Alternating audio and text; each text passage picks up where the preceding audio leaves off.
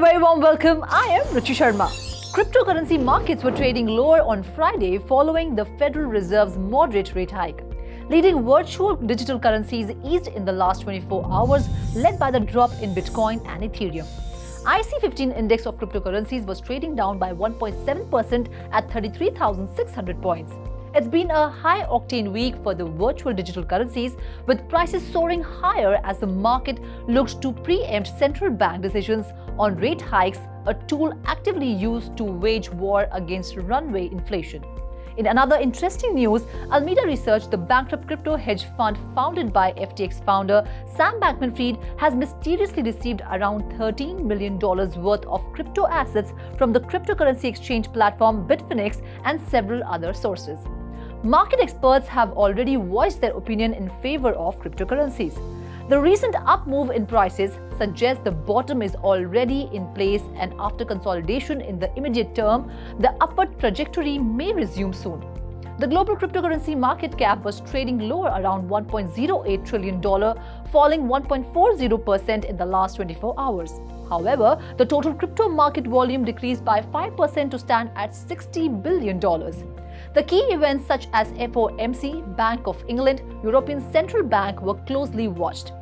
Earlier in the week, the US Federal Reserve raised its benchmark rate by a quarter percentage point but gave little indication of an imminent end to its hiking cycle. The European Central Bank hiked interest rates by 50 basis points and signaled a further hike of the same scale in March.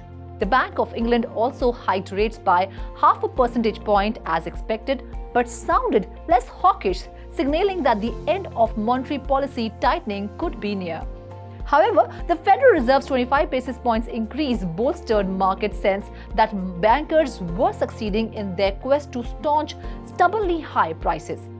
Stock futures slid after several high-profile earnings misses cast doubt on the recent market rally.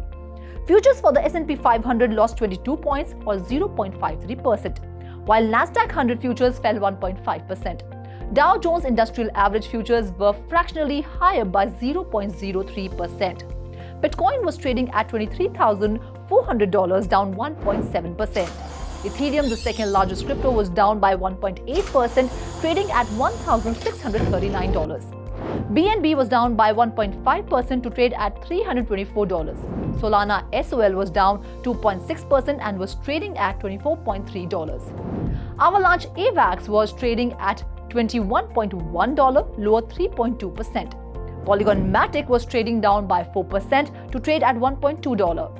Cardano's ADA token was down by 1.3% to trade at $0.40. Doge, the popular meme coin, was trading down by 2% at $0.091. Ripple's XRP token was trading at $0.41, down by 0.4%. However, Shiba Inu was trading up by 4%. Polkadot was up by 4.4% to trade at $6.8. That's all in Coin Monitor for now. This is me, Ruchi Sharma, signing off. Do like, share, and subscribe to 3.0 TV, and have a great day.